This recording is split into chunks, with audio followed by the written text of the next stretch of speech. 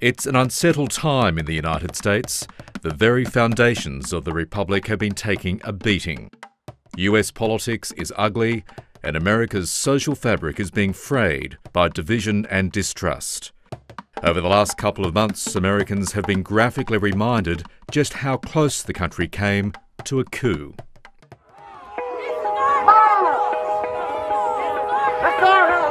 On January the 6th last year, the day set down for the certification of Joe Biden's election win, the US government was on the verge of falling.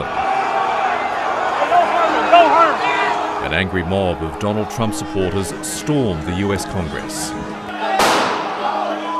The congressional inquiry into the chain of events that day has revealed, in at times terrifying detail, how the then president whipped the protesters into a frenzy. We fight. We fight like hell. And for more than three hours, did nothing to stop the violence. President Trump summoned the mob, assembled the mob, and lit the flame of this attack. January 6th was the culmination of an attempted coup. The revelations from the January the 6th hearings may damage Donald Trump or steel the 74 million Americans who voted for him in 2020. He's dismissed the inquiry as a witch hunt and has sought to discredit the Republican officials and staffers who've testified against him. Whatever the outcome, the country is polarised and on a perilous political path approaching the key midterm elections in November and then the 2024 contest for the White House. It sucks. to put it just very bluntly, it sucks. Fear and anger will win the day. I think that Trump has created a whole new level of animosity. There's just a deep divide about what it means to be American in this country. And so we have a tug of war over that right now inside our nation.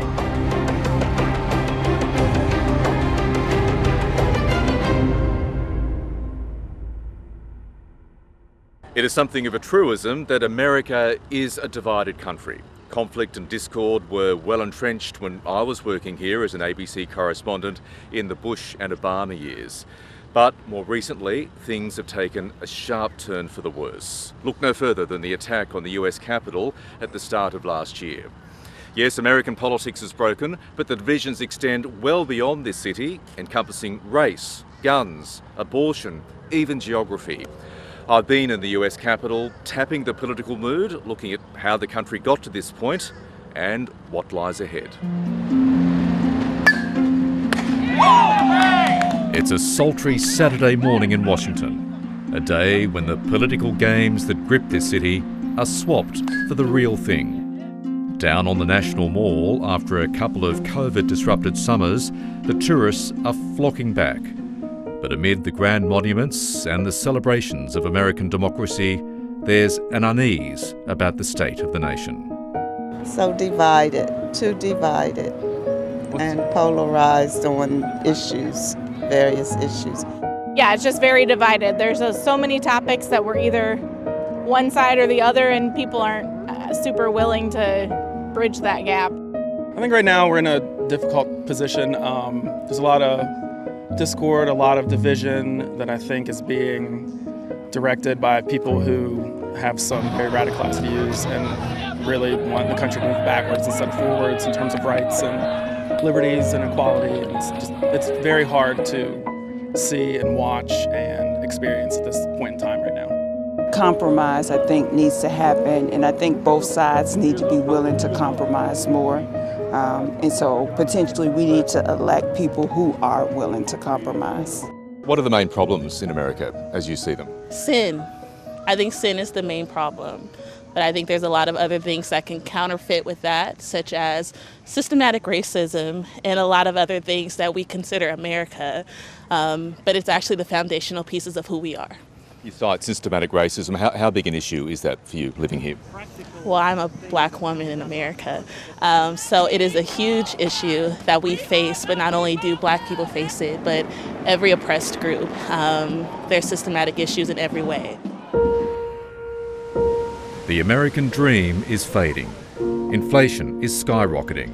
COVID continues to ravage the US with a per capita death toll four times more than most Western countries. Politicians on both sides are encouraging the discontent. President Biden is struggling. His approval rating has fallen to historic lows. Congress is gridlocked, and Republicans are on track to seize control of both the House and the Senate in the November midterm elections. And despite all the damaging evidence from the January the 6th hearings, Donald Trump is flirting with another presidential run. On top of all of this, the recent Supreme Court ruling overturning abortion rights has sparked visceral anger. Racism remains deep seated and systemic. And there seems to be no end to the mass shootings, with more than 300 in the last six months. American democracy has always been a beacon of hope, but it seems the states are far from united. For their unique perspective, I talked to some of Washington's key players. Michael Steele is the former chairman of the Republican National Committee. E.J. Dionne is a veteran Washington Post political columnist. Amanda Carpenter is the former communications director for Republican Senator Ted Cruz. And Steve Clemons is a long-time Washington political analyst. I think people have very different worldviews. I think there's a whole set of Americans. You know, they're not all Trumpists, but they're angry and they're frustrated at traditional, conventional, institutional politics that they feel represent uh, interests antithetical to their own, that they feel demeaned, left behind, looked down on. Uh, by a class of Americans who are wealthy, who maybe went to good schools, who did this. We're, we're having a generational shift and realignment in American politics, and it's around a lot of things. It's about race, it's about income and, and, and many other issues of opportunity in this country. And there's just a deep divide about what it means to be American in this country. And so we have a tug of war over that right now inside our nation.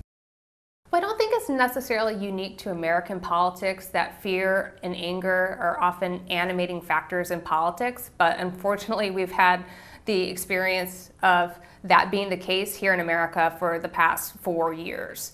That said, there are other values that do come into a political equation with the right candidate um, that does have appeal to stop that. It has to do with love and unity. I mean, I am a Republican. I disagreed with a lot of Barack Obama's politics when he won the election in 2008, but there's no doubt that he represented a you know hope and change, optimism, happiness for the future. And so if a winning party can find a way to convey that to voters and say, you know what, things are kind of tough right now. But if we can find our common purpose together and work together towards that to solve these problems, yes, there's absolutely hope. But until someone can do that, fear and anger will win the day. It's a new space for a lot of a lot of the political operatives and players and elected folks here in town as well, because uh, in the not too distant past, there was always this. Yeah, there's always been the political tensions around policy. You know, Democrats want to, you know, expand government. Republicans want to contract it, right? So that that's kind of, you know, sort of baseline stuff. Um, but even in those battles, it was never personal. I didn't hate you. You know, it's like, okay, I think you're wrong on this initiative, and I'm going to try to fight you, you know, in committee uh, hearings, and I'm going to testify against your bill, or I'm going to support your bill. But you know, whatever, we'll have dinner later, right? Now it's a very different environment. It is not only do I uh, not like your bill, I don't like you for proposing it. You are, you know, anti-American, fill in the blank. Republican, Democrat, doesn't matter. So it's really, you know, it's how this, both sides are reimagining the American experiment. Well, the partisan divide has been growing steadily for perhaps 30 years. And some of it is simple political science that our parties used to be more diverse ideologically. The Democrats had a lot of conservatives in the South. Now all those conservatives are uh, Republican. The Republicans had a fair number of moderates and progressives in the North. Now most of those voters and politicians are Democrats. So that's the long term. The short term is, I think, Donald Trump uh, and the intense um, anger, division, loyalty, all those things that, um, that he inspires. And it's not surprising that this city is so divided because you see this in families all over the country. If you travel around the country and talk to uh, people who used to have vigorous political arguments in their families, they can't even talk politics now. I know so many people uh, who say, you know, I don't talk about politics with my brother in law anymore, or my sister, or what, whatever the division happens to be. Um, and while those divisions have been growing steadily, after all, Bill Clinton got impeached back in the 90s, uh, I think that Trump has created a whole new level of animosity. He may have left the White House 18 months ago, the only president to be impeached twice while in office, and his legacy tarnished by the January the 6th hearings. But Donald Trump still dominates the political conversation in Washington. He remains the clear favourite to win the Republican Party's 2024 presidential nomination.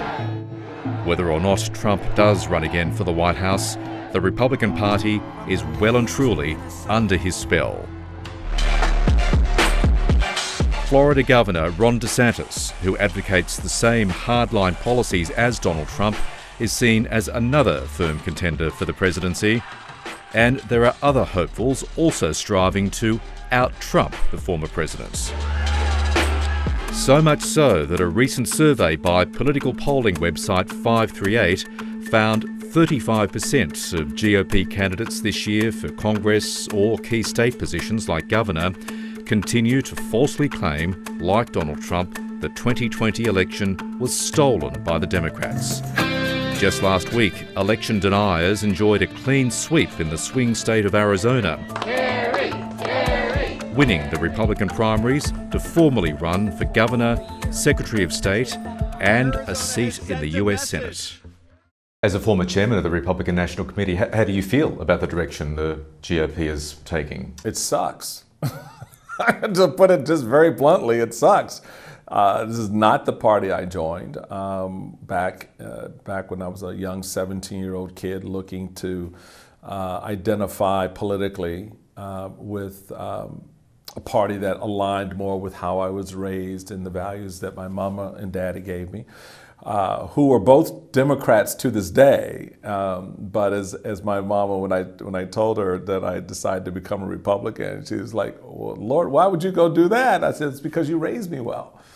Raised me to think for myself. You raised me despite growing up in a segregated city, which Washington, D.C. was at the time.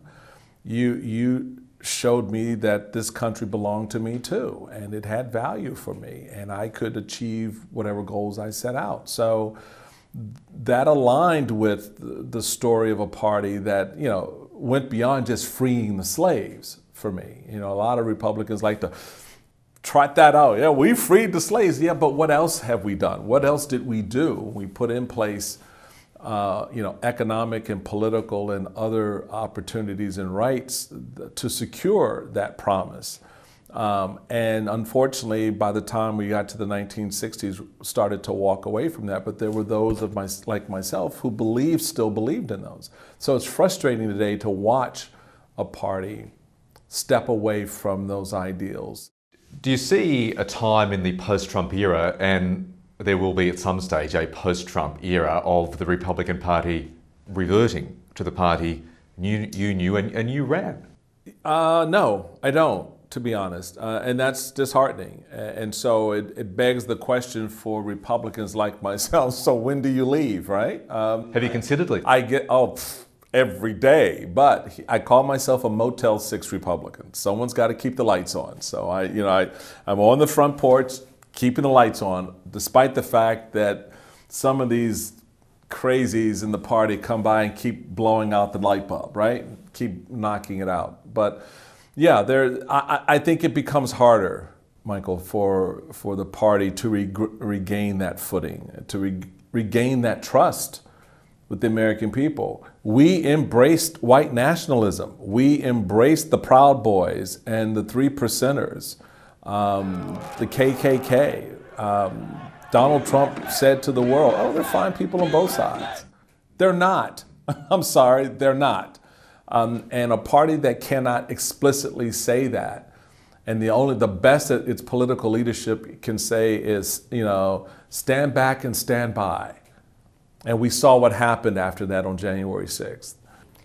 Uh, yes, I think Donald Trump has drastically changed what it means to be a Republican. And one of the things that I am really concerned about doesn't necessarily have to do with policy and things like taxes and spending and America's uh, position in, in the world, but just in terms of how we treat each other and how we resolve our internal political differences. Um, one of the things that I, I'm actively working on and looking for um, opportunities to capitalize on is what ways can the left work together with center right disaffected Democrats? Because that's really the coalition that Joe Biden brought together in 2020 that propelled him to a win. Um, he wasn't the preferred candidate of the Democratic base. But the Democrats did make a decision in 2020 to say, who is the person that can beat Donald Trump? Who is the person that can appeal to some Republicans in these key states in order to put him over the top? And so I, I think the Democratic Party has lost sight of that winning combination, um, but nothing clears the mind like elections, and so we'll see what happens. Um, what he's done is he's continued uh, a long-term trend of driving out um, of the party lots of more moderate people uh, who were quite comfortable with the republicanism of, say, George H.W. Bush, um, were reasonably comfortable with Ronald Reagan, uh, but find Trump abhorrent. Um, this is especially true uh, in suburban areas uh, in the Northeast and Middle West and, and on the West Coast um, uh, they are, in a way, uh, teal independents, in your terms, who have become Democrats for the most part, or independents who tend to vote Democratic. So um, he, is, he has just continued a push of moderates out of the party that began a long time ago. I think the big thing in asking about Donald Trump's popularity, it's as much about Trump's popularity as it is anti establishment and anti government sentiment, that they don't want to continue the status quo. And so I do think the circumstances here are fueling a Donald Trump like character. And that may not be Trump. It could be Ron DeSantis, the governor of Florida. It could be a number of other people who pick up the mantle from Trump, whether he runs or not. But certainly, Trumpism is not just about one man, Donald Trump. All eyes here are firmly focused on the midterm congressional elections in November. The party of the sitting president traditionally gets slammed in the polls, but it could be a particularly bad night for Joe Biden, and it could inject even more instability into the political landscape. If the conventional wisdom does prevail and things like COVID and inflation just hand the election to Republicans and they take come back, back control of the Senate and the House, I, do think you can see a scenario where Joe Biden announces he will not run for reelection. Um, that has pros and cons. It has the con, in my view, because I think he is one of the few Democratic candidates who could keep this left, center, right coalition together. But on the other hand, it does create opportunities for younger people to get in the game, um, start competing in the marketplace of ideas, uh, have a lot of attention on the Democratic primaries and have that big, robust contest about what the future is on the Democratic side, while on the Republican side, you're probably still going to be talking about Donald Trump. Do you expect the president to run again for a second term? I don't know. I think Joe Biden uh, says he's going to run. Other people have said he's going to run. And we have to, in the media, presume that that is what they think right now.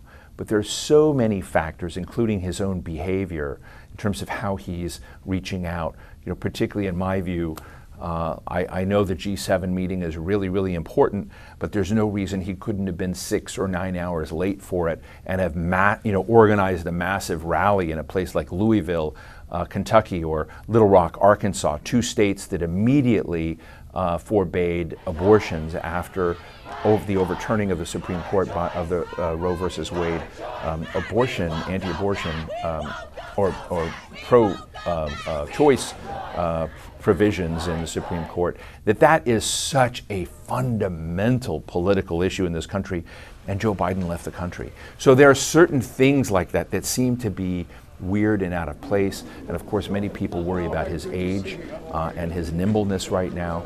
And actually, his program and his legislative agenda look paralyzed at this moment. So, is that person going to run again? I think in his mind he thinks he is. I think there's a lot of doubt around him that he will run again.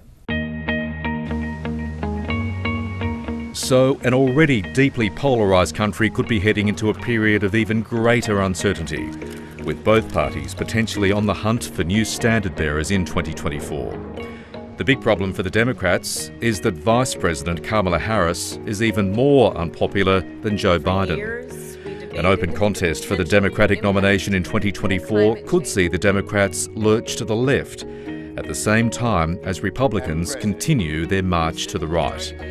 Not only would political discourse sink further, a lot of American voters, those in the middle, could be left with nowhere to go. Well, something else will come. I mean, politics abhors a vacuum, like everything else. So, and I, you know, there are elements of convers- conversations and elements of strategies being put together to create another lane, to give center right, center left voters, for example, uh, a space that they can go to. Because as much as people, you know, have, you know, expressed their disappointment, disdain, and and just, you know, negative reaction to the Republican Party, Democrats aren't that much better off. So you, you also have that that piece of uh, the pie as well. So you have a larger and larger swath of vo- voters who are sitting there going, "Where do I go? What do I do?" And and so there are conversations and efforts being pieced together now to create that space. That will take time. It's not something that obviously happens overnight. This isn't the 1860s when you can form a party in you know 1854 and by 1860 you've you know you got a candidate who becomes president of the United States in Abraham Lincoln. Um, so this is a very different time. They didn't have Twitter and and Facebook because I contend if they did, much more gentle times. Yes, much more gentle times. But there's a lot of work ahead, Michael, and, and the party I think, has to recon- reconcile itself to that work. Given all the challenges the American political system is, is, clearly facing, would you describe yourself as an optimist or a pessimist regarding the future of, of the great American democratic experiment? That's an interesting question. I, I think things have gotten terribly bad, but I still know that people can come together to make a difference. And for a long time, I've been a never Trump conservative. And even going into the 2020 election, uh, people were still supporting Donald Trump. But after January 6th, it has caused many people to re examine their choices. And the number one example of that is the woman leading the January 6 hearings right now, Liz Cheney. She voted for Donald Trump in November 2020. She was a member of Republican leadership, but she has changed her mind. And if someone like her can change her mind, I am certain more people can. I don't want to be a Pollyanna and say there's nothing to worry about. Yes, there's something to worry about. But I would say at the end of the day, I have confidence that the system, if we safeguard it now, will largely prevent those outcomes from happening. Because in the end, that person, that individual, even in some of these states, is in a political minority. Um, even if you kind of look at the broad public and say, okay, how much of that broad public is fanatically obsessed with the ascension again of Donald Trump.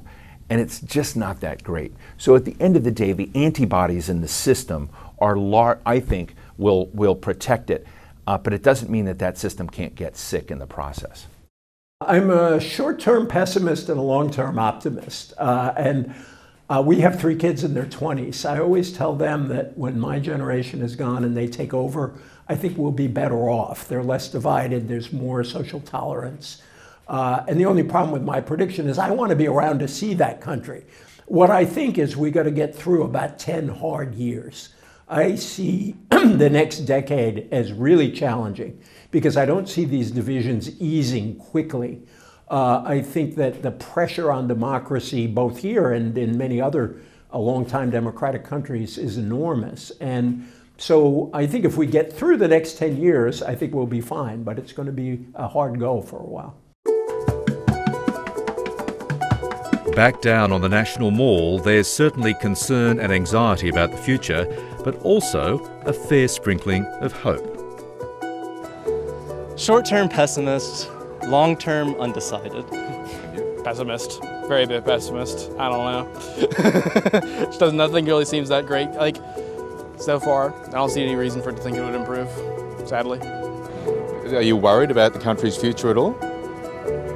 Um, I'm hopeful.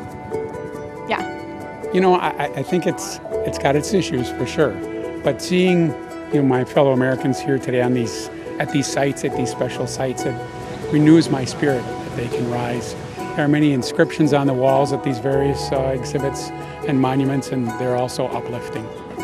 Everyone needs to um, just go back to sound, soundness and sensibility. Do you see that happening? Maybe in tiny, tiny increments in certain places, but overall, no, right now. But overall only happens when it starts in tiny, tiny increments. So we just have to keep trying. Getting America back on track will indeed take a lot of effort.